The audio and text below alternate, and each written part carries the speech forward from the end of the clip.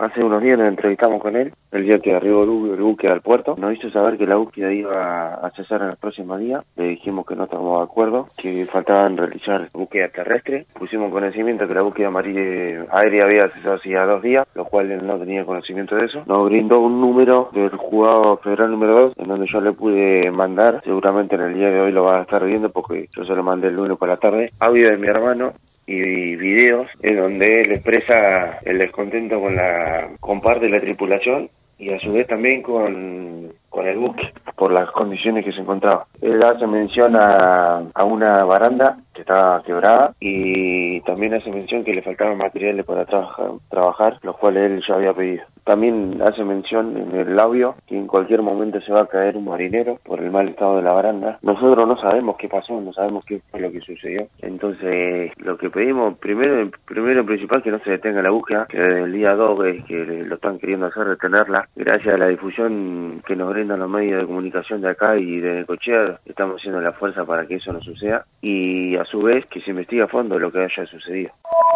Sí, hablamos casi en su totalidad con la mayoría de los tripulantes. Nos comentaron cómo, cómo vivieron cada uno de ellos la, la situación. Eh, hay ciertas cosas que a nosotros no, no nos cierran, como por ejemplo, mi hermano tenía, o tiene mejor dicho, tiene una personalidad muy particular en donde se hace notar eh, en cada lugar que se encuentra porque es una persona alegre, que hace joder a las demás personas, que hace divertir. Entonces no, no podemos lograr entender cómo en un término de las 6 de la mañana, que supuestamente es la última vez que se lo ve, hasta las 1 y 30, en, en esas horas no se dieron cuenta que el primer pecador, que viene a ser la persona que los manda a ellos a realizar cada tarea, no se encontraba en la embarcación. Eso no lo, no lo logramos entender. Por eso es que pedimos que, que la justicia investigue a fondo. ¿Pasó algo? No sabemos, no sabemos. Yo no quiero acusar tampoco a nadie, porque entiendo también que detrás de cada marinero hay una familia, y hay hijos, hay madre y demás. Entonces, yo entiendo y, me, y, o sea, y respeto todo eso, pero necesito llegar a la verdad.